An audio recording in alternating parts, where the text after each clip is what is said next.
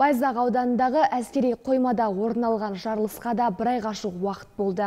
Жойқын жарылыстан жапа шеккен елді мекендердің бүгінгі ахуалы қандай. Әскери бөлімге жақын орналасқан Қайнар ауылында қайта қалпына келтіру жұмыстары қалай жүргізілуде. Жағдайды көзбен көріп, мұндағы жұртшылықтың халін білмекке әріптесім Келбет Шәміші барып қайтқан еді. Зер салыңыз.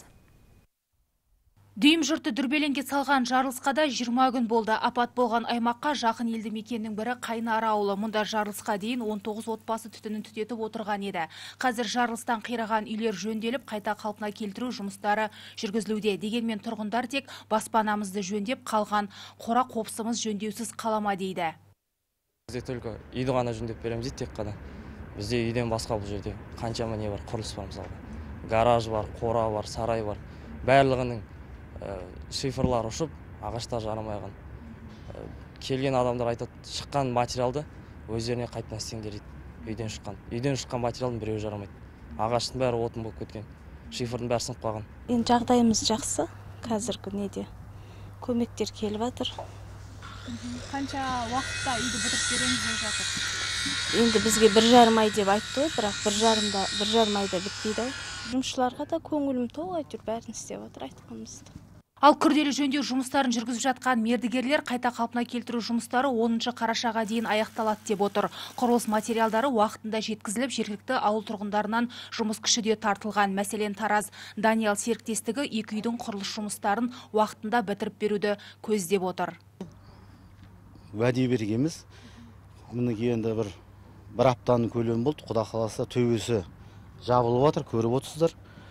Бір аптаның ішінде где-то бір енді бір аптаның көлемі деген сол он күнге дейін барып қалуы мүмкін.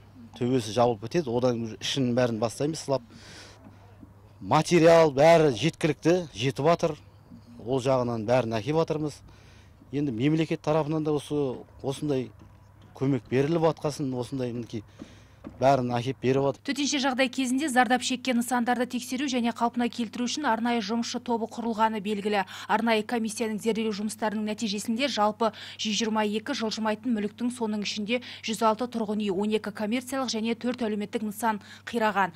Бүгінге дейін 62 тұрғын үй жөнделіпті. Ал жібек жолы ауылындағы қираған нөмірі 5 орта мектептің орнына жаңа мектеп салынбақ. Компания үйді қалпына келтіру мәселесі бойынша жұмыстар жүргізіліп жатыр. бір жүз сексен бес адам жұмысқа тартылған жиырма үш техника жұмылдырылды. Бүгінгі таңға толық үйлердің төбесінің бәрі ашылып сейсмопоястары құйылып төбесінің крышасын жабу жұмыстары басталып жатыр. Осы бір екі үш күннің көлемінде уже алғашқы үйлердің төбесі жабылатын болады.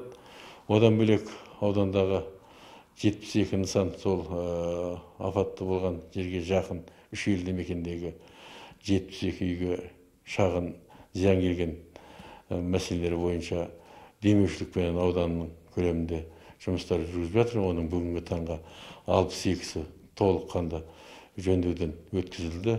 Үш әлеуметтік нысан ол мына шұлақ елді мекеніндегі бастауыш мектебі ондағы медпункттер олар толыққанды жөндеуден өтті Айта кетейік, жарылыстан зардап шеккен 26 адам стационарда ем алып жатыр. Олардың 15-і госпитальда емделіп жатқан әскери полиция және төтенше жағдайлар департаментінің қызметкерлері. Оқыс оқиғада 17 азамат қаза болып, жүздеген адам жараланды. Тағы бір адам іздестіріліп жатыр. Келбет Шәмші, Қанат Бақтылы, Жамбыл Ньюс.